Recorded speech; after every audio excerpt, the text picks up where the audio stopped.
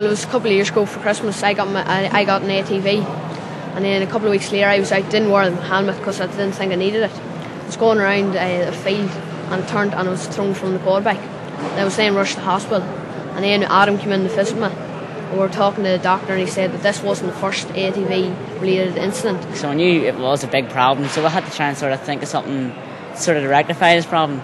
We found that the like not wearing a helmet was the main cause of fatality.